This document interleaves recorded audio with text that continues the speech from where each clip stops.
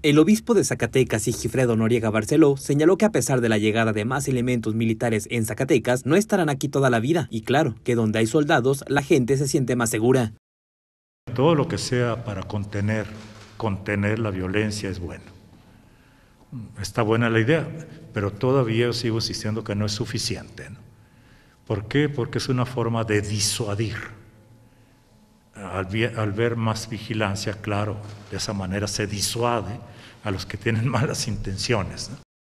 Agregó que falta acompañar a las víctimas de la violencia, como lo son los huérfanos, viudas y viudos, así como toda la ciudadanía que se ve dañada emocionalmente. Por tal motivo, dijo que la iglesia comenzará a escuchar a estas víctimas. Algunas parroquias ya están organizándose, están preparando gente para escuchar a las víctimas. En recientes días se ha presentado de nueva cuenta el desplazamiento de personas en comunidades de Valparaíso por la presencia de grupos delincuenciales, en donde Noriega Barceló mencionó que son cerca de 400 familias presentando esta afectación. Aunado a esto, se han tomado medidas en los templos para reducir los riesgos a los fieles por el aumento de la inseguridad. No poner horarios ya muy tarde. Ahorita, por ejemplo, en los lugares de desplazamiento, Ermita de la Correa, las celebraciones son temprano. Estas mismas dinámicas se han empleado en celebraciones como la Misa de Gallo para las fiestas de Bracho, en donde han recorrido los horarios para priorizar la seguridad de los asistentes. También señaló que han detectado retenes en tramos carreteros en zonas rurales donde grupos delincuenciales les han hecho el alto. Esta gente está armada con armas largas.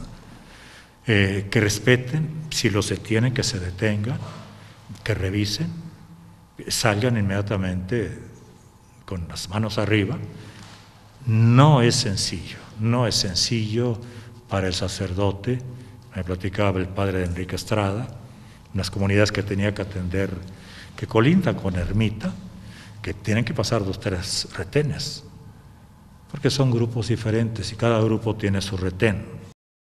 El obispo de Zacatecas informó que en todos los municipios de Zacatecas se presentan estos retenes, principalmente en Jerez, Fresnillo y Valparaíso.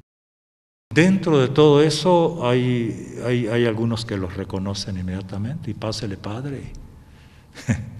Pero como están en movilidad permanente, hay gente nueva. Y si no es gente de ahí, no los conocen. Entonces los detienen y que se identifican. Son protocolos que estamos siguiendo. Mega Noticias.